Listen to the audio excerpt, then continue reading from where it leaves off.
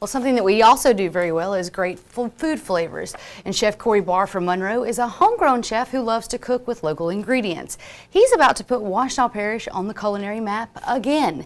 The Food Network Chopped Champion is now the contestant on the new season of the next Food Network Star. TWILA's Tammi Arender got a chance to visit with Bahr about why he loves to use homegrown ingredients from the Gulf to the farm field.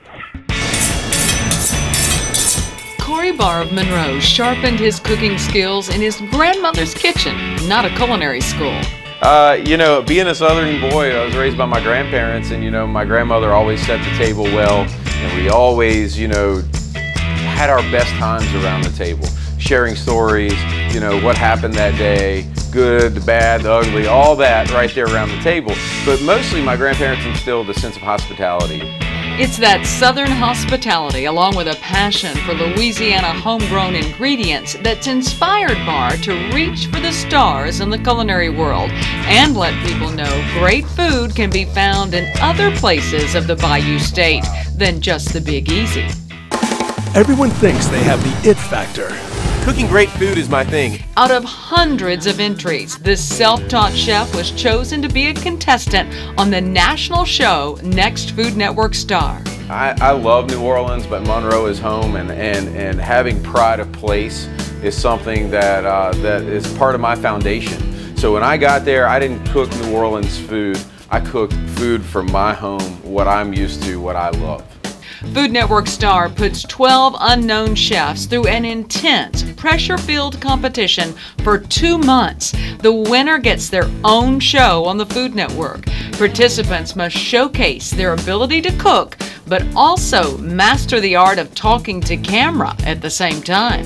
Take 352. We're doing uh, some smoked pork shoulder uh, for a pop-up out here at Rolla Roaster. It's 523 DeSiard. We're doing these a couple of days a week, just having some fun, bringing cool food to downtown.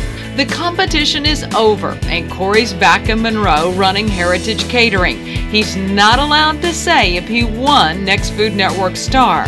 We'll find out when the new season begins on June 4th. But one thing we do know Cory will wow the country with his culinary creativity and craftsmanship. New flavors are really what interest me.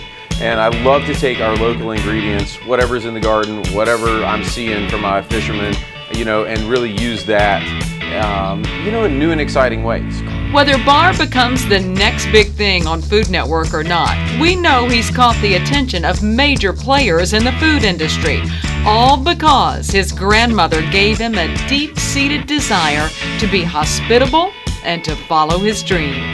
It's just determination and not being willing to take no for an answer. You know, um, just like you see the revitalization of downtown Monroe, and really the more, the more each and every day our community gets more and more vibrant, and it's because people just don't take no for an answer. You forge ahead, and if you believe in something, you do it, and that's what I've done. The next Food Network Star premieres Sunday, June 4th at 8 p.m. on Food Network. It airs each Sunday night till the last contestant is standing 12 weeks later. There's another contestant from Louisiana, Toya Boudy from New Orleans.